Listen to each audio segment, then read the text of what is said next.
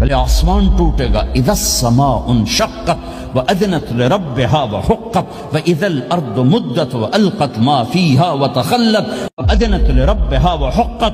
وہ آسمان پھٹا، اذا الشمس قورت، وہ سورج ختم ہوا۔ وإذا النجوم انقدرت وہ ستارے جھڑ گئے، ٹوٹ گئے۔ وإذا الجبال سیرت پہاڑ ریت بن گئے۔ وإذا العشار عطلت، جانور منہ اٹھا کے بھاگ پڑے۔ اذا السماء انفطرت، آسمان پھٹا۔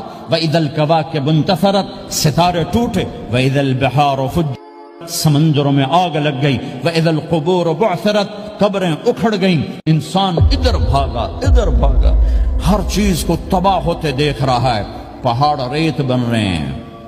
جنگلوں میں آگ لگ رہی ہے، سمندروں میں آگ لگ رہی ہے، آنکھوں کے سامنے سورج کو بکھرتا دیکھیں گے، اندھا ہوتا جہان، چاند ٹکڑے ٹکڑے، تارے ٹکڑے ٹکڑے، آسمان ٹکڑے ٹکڑے، اور ان کی ایسی سخت جانی یہ سب دیکھیں گے۔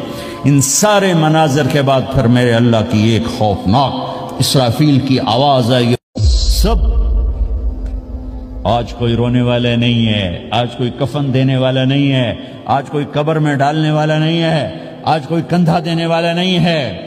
آج سب کی اکٹھی موت ہے۔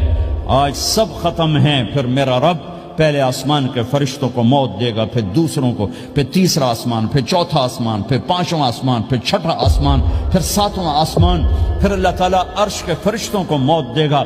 پھر اللہ تعالیٰ فرمائے گا، جبریل میکائل مر جائیں۔